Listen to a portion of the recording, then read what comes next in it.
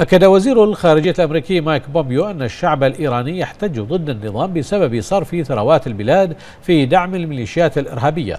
وأضاف بومبيو في بيان صحفي أن النظام الإيراني يبدد موارد المواطنين في المغامرات بسوريا وفي دعمه لحزب الله وحماس والحوثيين وصرفها لتحقيق طموحات توسيع البرنامج النووي وهو ما يزيد من معاناة الشعب الإيراني.